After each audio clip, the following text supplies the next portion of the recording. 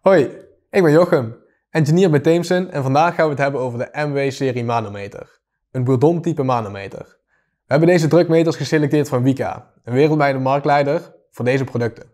De manometers van de MW-serie zijn beschikbaar met een onder- of achteraansluiting. De manometer maakt gebruik van het buisveerprincipe, ook wel het Bourdon-principe genoemd.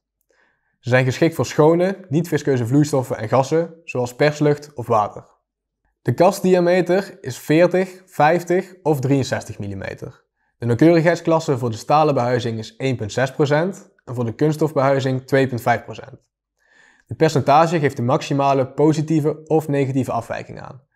Dit betekent dat wanneer je een manometer hebt met een stalen behuizing en een maximale druk van 10 bar, de manometer een afwijking heeft van plus of min 0,16 bar. Het meetbereik voor de manometers van deze serie gaat van min 1 tot 400 bar de schaalverdeling varieert van 0,02 tot 50 bar. De verbinding heeft een schroefdraadmaat van 1 achtste of 1 vierde inch en is gemaakt van messing. Zorg er daarom voor dat uw medium het messing niet aantast. Kies als vuistregel een manometer waarbij de werkdruk niet hoger is dan ongeveer 75% van de maximale schaalwaarde. Voor pulserende drukken geldt hiervoor plus minus 65%. Heeft u pulserende drukken of trillingen? Kijk dan ook eens naar onze oliegevulde manometers. De olie in deze manometers dempt de trillingen, waardoor een gemiddelde constante waarde wordt aangegeven. En dan nog drie redenen waarom de MW manometer het perfecte product voor u is. Hij is betrouwbaar en kostefficiënt. Hij is ontworpen volgens de EN 837.1 standaard.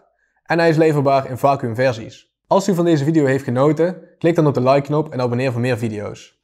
En als u nog vragen heeft over de MW-serie manometer of een ander product, neem dan contact op met mij of iemand anders van Teamsun.